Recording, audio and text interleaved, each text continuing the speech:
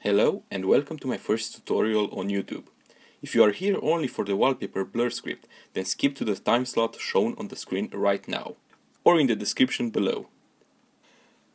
This is going to be a very noob friendly video as I'm going to show you how to get wmutils set up, albeit a very minimal one, but it's still going to be more than enough to get you started.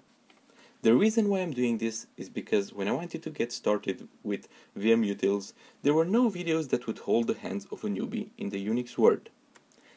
I learned from z-brah, whom scripts I am actually using in this video, and one of the scripts is written partially by my friend tudurom, so shout out to them.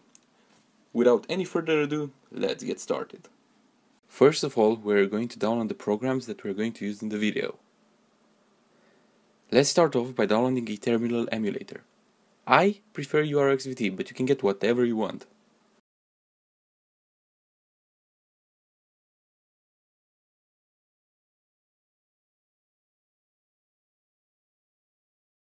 We also need to download Git, just so we are able to get VM wmutils onto our computers later, and wget, which is a script that we are going to use to download a wallpaper later on. To install wmutils, we're going to need a program named Make. There are multiple programs that let you set your wallpaper, but this one supports the on-demand blur, which is what we are looking for.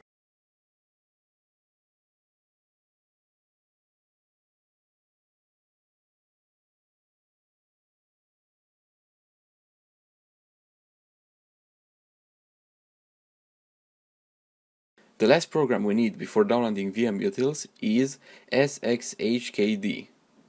This program lets you assign a key combination to different scripts and commands.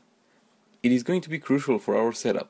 The way wmutils works is that it is a collection of scripts that are capable of configuring and controlling your X environment and the easiest way to call those scripts is to assign them to different key combinations. After having all this done, we are going to download all wmutil repositories using Git. We are going to download this inside our home directory. When this is done, we are going inside core and opt, and we are going to run the sudo make install command. This is going to make those scripts globally available to us. The scripts inside the contrib are always going to be located in the home directory as long as you don't move them.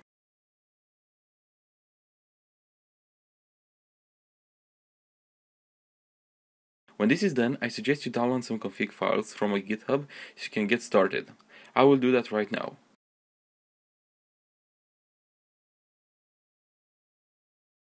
We are going to copy the X resources and xinitrc into our home directory.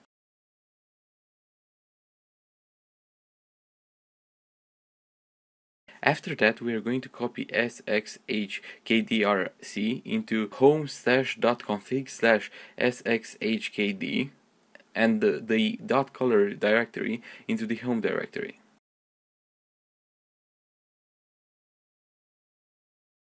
Now to understand what those files and folders you just copied a few moments ago do, I will explain everything to you about them right now. The .x resources file is a config file keeping all the settings for URXVT, my terminal emulator of choice. The .xinitrc is a config file that decides what scripts and programs run at the start of your graphical session. The .colors directory is simply a pack of scripts that dictate the color of my terminal. This pack is read by the xresources config file. The sxhkdrc is the main component of our setup. This is the config file for the key binding manager. Inside here you can see all the key bindings that I set up so you can have a bare minimum of Windows Manager up and running.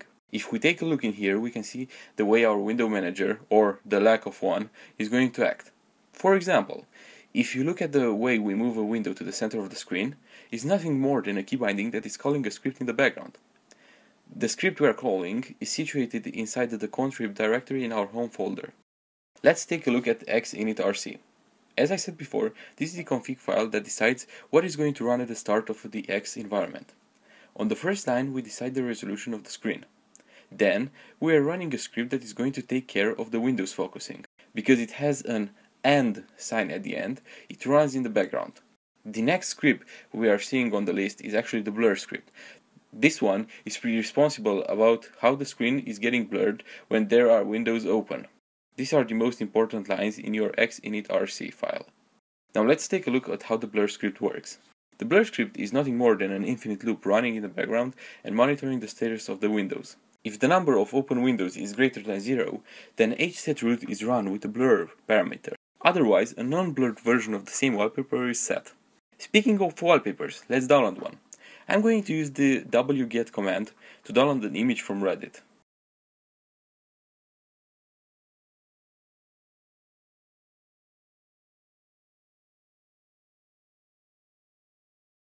After downloading it, I am going uh, to rename it to wall.jpg or JPG and save it to my home directory so our blur script is going to pick it up right away. After all this is done, we're going to write startx to put up the graphical interface. And voila, everything is working as intended. As you can see, I can move the windows without any problem.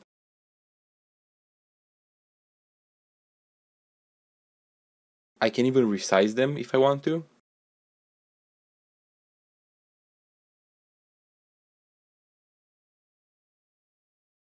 everything works just fine and when I close the window the blur in the background disappears. If I open another window it reappears.